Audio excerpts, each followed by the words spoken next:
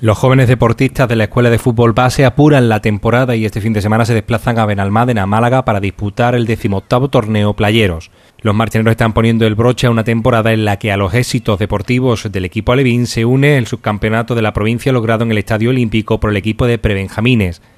Tras el torneo playero, los marcheneros participarán con todas sus categorías en el campeonato organizado por las escuelas de fútbol base de la Sierra Sur de Sevilla. La Peloteros Cup se celebra del 24 al 28 de junio en las sedes del torneo, este año en las localidades del Rubio y Aguadulce. Con la participación en el denominado Mundialito organizado por la Escuela de Peloteros de la Sierra Sur, los equipos marcheneros pondrán fin a una temporada en la que sobradamente se ha cumplido con el objetivo de la escuela, disfrutar del deporte a través del fútbol.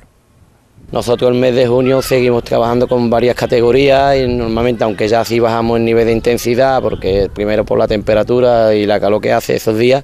pero no lo dejamos del todo porque luego siempre tenemos algún torneo que otro, como por último que ya el cierre de todo, el torneo que me estás comentando, que es el de la Escuela de Peloteros y en la Sierra Azul, que también vienen equipos de Málaga, de Tánger, de varias